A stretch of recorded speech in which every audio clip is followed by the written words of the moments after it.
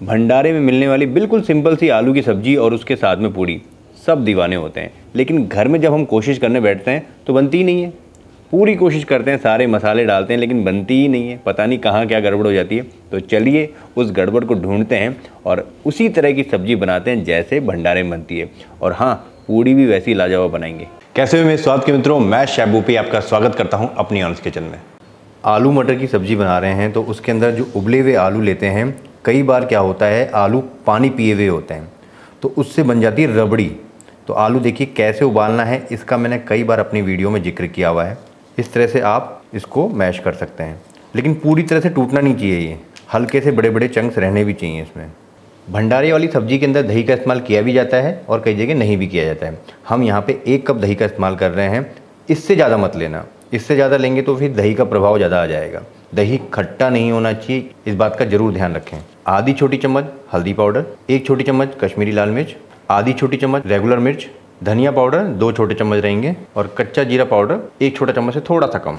अब सभी चीज़ों को इसके साथ में मिक्स कर लेते हैं। गरम मसाला यहाँ पे नहीं डालना है। गरम मसाला हमेशा लास्ट में डाला जाता है, क्योंकि गरम मसाले का इस्तेमाल खुशबू के लिए होता है। दही को अच्छी तरह से फेंट ले, वरना कई बार दही फट भी जाता है। तो यहाँ पे मैं डाल रहा हूँ लगभग तीन बड़े चम्मच सरसों का तेल। आप चाहें तो कोई दूसरा तेल भी इस्तेमाल कर सकते हैं यहाँ पे। भंडारे वाली सब्ज़ी के अंदर खड़े मसालों का बहुत इंपॉर्टेंट रोल होता है। यहाँ पे लौंग ली है, काली मिर्च, बड़ी इलायची, छोटी इलायची, दालचीनी का बहुत छोटा टुकड़ा है। इसकी स्मेल ज़्यादा अच्छी नहीं लगती है और एक तेज पत्ता है। अगर ये सारी चीज़ें ना हों तो बड़ी इलायची और तेज पत्ता तो ज़रूर होना चाहिए। तेल गर्म हो चुका है। सबसे पहले एक सूखी लाल मिर्च तोड़ के डाल दी। हल्का सा कलर छोड़ा तेल के अंदर, उसके बाद में एक छोटा चम्मच जीरा। जीरे का कलर जैसे ही चेंज हुआ, देखिए वाइटनेस आ गई ना, उसके तुरंत बाद में ये खड़े मसाले। और जब खड़े मसालों में से खुशबू आने लग जाए, हल्का सा रोस्ट हो जाए, उसके बाद में ये दो हरी मिर्च मैंने चॉप की हुई ये डाल दीजिए। गैस की फ्लेम को या तो कम कर दीजिए या बंद कर दीजिए। और यहीं पे लगभग दो इंच अदरक का टुकड़ा, जिसको मैंने चॉप कर लिया था। आप चाहें तो कद्दूकस भी कर सकते हैं। अब ये जो प्रोसेस है ना, यहाँ पे आँच को बिल्कुल कम करके इसी तेल में आराम से धीमी धीमी आँच पे होने दीजिए इसको। बिल्कुल धीमी धीमी आँच पे। जो अदरक और हरी मिर्च भुनती है, उसका जो फ्लेवर आता है, वो बहुत ही गज़ब का फ्लेवर आता है। ज़्यादा तेज़ करेंगे तो अदरक जलने लग जाएगी, मिर्ची जलने लग जाएगी, फिर कड़वापन लेके आएगी।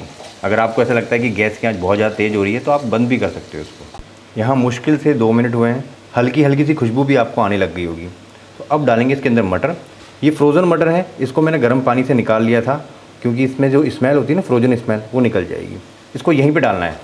आमतौर पे हम गलती क्या करते हैं कि मटर को बाद में डालते हैं। हम सोचते हैं कि मटर पका हुआ है तो ज़रूरत क्या है? लेकिन नहीं हल्का सा अगर आप ऑयल में इसको सौते करेंगे तो जो टाइट टाइट सा लगता है ना हल्का सा हार्ड लगता है, वो नहीं लगेगा आपको, और मटर खाने में मज़ा भी आएगा। तो हल्का सा भूनना है, ये वाइटनेस आ जाएगी इसके अंदर हल्की हल्की सी। मटर के अंदर हल्की सी सफ़ेदी आ गई है मतलब कि मटर अच्छी तरह से भुन गए हैं। अब डालेंगे हम यहाँ पर टमाटर। तीन मीडियम साइज़ के टमाटर हैं लाल लाल से। सबसे पहले टमाटर। और टमाटर के तुरंत बाद में नमक। इसको भूनना है और टमाटरों को गलाना है। पानी का इस्तेमाल नहीं करना अभी यहाँ पे। टमाटर से जो पानी रिलीज़ होगा, उसी से पकाना है। टमाटर पूरी तरह से गल गया है। आपको हमेशा बोलता हूँ कि टमाटर अच्छी तरह से पकना चाहिए। अगर टमाटर में हल्का सा भी कच्चापन रह गया ना तो सब्ज़ी में गड़बड़ हो जाएगी। जो दही के साथ मसाले घोल के रखे थे, यहाँ पर डाल देते हैं। गैस की फ्लेम को बिल्कुल कम कर दीजिए यहाँ पर और जब तक उबाल नहीं आ जाता, इसको लगातार स्टे करते रहिए। मसाले में से ऑयल लूज आउट हो गया है। ये देखिए यहाँ पे किनारियों में आ गया है। कलर कितना डार्क हो गया है। मसाला यहाँ दानेदार हो चुका है। बढ़िया सा मसाला पक गया है। मसाला अगर पक जाता है ना तो सब्ज़ी बहुत बढ़िया बनती है। ये है एक बड़ा चम्मच पतली वाली सौंफ का पाउडर ये डाल देते हैं। इसकी खुशबू बहुत ही अच्छी आती है इसके अंदर। भीनी भीनी सी मीठी मीठी सी खुशबू आती है इसमें। एक चौथाई छोटी चम्मच हींग का इस्तेमाल कर रहे हैं हम यहाँ पे। एक कच्चा फ्लेवर आता है ना हींग का, वो भी बहुत अच्छा लगता है। कच्ची मिर्च का फ्लेवर बहुत अच्छा आता है। हलवाई कोई सी भी सब्ज़ी बना रहा ये चीज़ ज़रूर डालते हैं। काला नमक, गंधक वाला फ्लेवर, टेस्ट के हिसाब से डालें और अब डाल देंगे इसमें उबलता हुआ पानी। पानी डालेंगे हम इस हिसाब से कि कितना हमको पतला, कितना गाढ़ा चाहिए।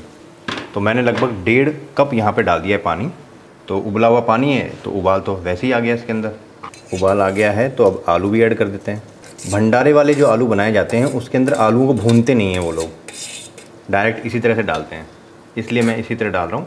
थोड़ा सा पानी मुझे कम लग रहा है तो मैं और थोड़ा पानी डाल रहा हूँ यहाँ पे, लगभग आधा कप के आसपास और, क्योंकि पानी रिड्यूस हो गया यहाँ पे।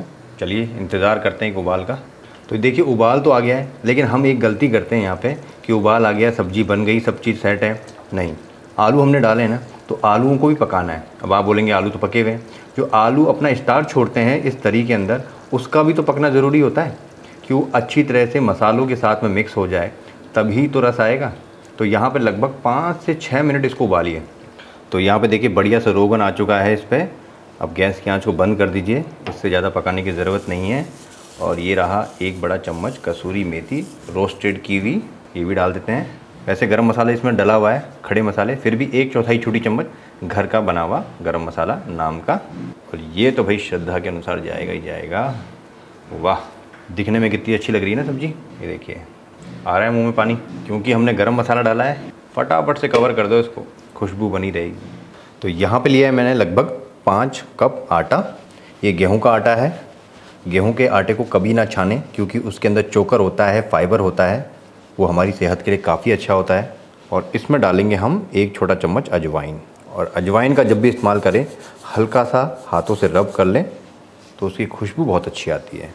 आटे में नमक जाएगा थोड़ा सा। अक्सर मुझको कमेंट्स में पूछते हैं कि, सर, हमारी पूड़ियाँ तेल पी जाती हैं। सबसे पहली गड़बड़ यहीं पे होती है, आटा गूंदने में। आटा ढीला नहीं करना है। तो यहाँ पे एक टाइट आटा हमको गूंदना होगा। तो यहाँ पे देखिए एक टाइट आटा हमने यहाँ पे गूंद लिया है। इस तरह से दबाएँगे तो इतना ही दबना चाहिए। सॉफ्ट नहीं होना चाहिए आटा। अगर सॉफ्ट हुआ तो ये तेल को एब्जॉर्व करेंगी पूड़ियाँ। अब क्या करना है? इसको लगभग 10 से 15 मिनट का रेस्ट देते हैं, जिससे कि हमारा आटा सेट हो जाएगा। तो यहाँ डो को आराम करते हुए लगभग हो गया है 10 से 15 मिनट। और अब इसको थोड़ा सा सॉफ्ट करना होगा। ये प्रोसेस बहुत ज़्यादा ज़रूरी है और इसी के साथ साथ हम यहाँ पे डालेंगे थोड़ा सा ऑयल। ऑयल से सॉफ्ट होता है ये। ये लगभग एक छोटा चम्मच हमने तेल डाल दिया यहाँ पे। तेल आटा गूंदते टाइम मत डालना। बाद में डालना। अब पूड़ियों के पेड़े काट लेते हैं। पेड़े एक साथ काट लीजिए आप। आसानी रहेगी। बार बार तोड़ने की ज़रूरत नहीं रहेगी। कितनी बड़ी बनानी है उस हिसाब से। इस तरह तोड़ भी सकते हो। और नाइफ़ से काट भी सकते हो। इस तरह से नाइफ़ से कट भी कर सकते हैं आप। ये भी बहुत आसान हो जाता है काम। टूटा हुआ पेड़ा होता है, उसको थोड़ा सा गोल करना पड़ता है इस तरह से। गोल हो गया। और ये जो कटा हुआ होता है ना, इसको गोल करने की ज़रूरत नहीं होती। इसको हल्का सा प्रेस किया इस तरह से, ये बन गया। जो भी आपको आसान लगता हो, वैसा आप कर सकते हैं। पेड़ों में हमने यहाँ पे थोड़ा सा ऑयल लगा दिया, जिससे आपस में चिपकेंगे नहीं, और इसको कवर कर दीजिए, जिससे इनमें परत नहीं जमेगी। सबसे आसान काम होता है पूड़ी बेलना। हाथों से हल्का सा बड़ा किया इसको।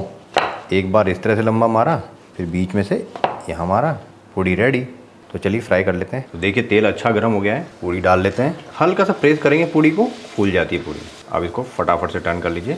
आ गया ना फटाफट से कलर ज़्यादा देर तक तेल में रखेंगे ना तो तेल को एब्जॉर्व करती है। अब निकाल लिया। इतना ही टाइम लगता है पूड़ी बनने में। अब सारी पूड़ी डाल देते हैं एक साथ, जितनी अपनी कढ़ाई में आ सकती है।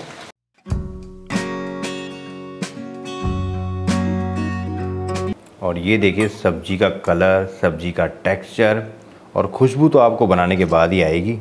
जिसको भूख नहीं भी लग रही होगी ना, इस सब्ज़ी को देख के अपने आप लग जाएगी। ये देखिए, पूरी ठंडी हो चुकी है अच्छी तरह से, फिर भी कहीं पे भी आपको तेल महसूस नहीं हो रहा होगा। ना आगे से कहीं से ऑयल दिख रहा है, ना पीछे से कहीं से ऑयल दिख रहा है। कितनी प्यारी पूड़ी फूली भी है, ऑयली भी नहीं है, ऐसी होनी चाहिए ना पूड़ी और सब्ज़ी तो भाई, मुँह में पानी आ रहा है। ये देखिए।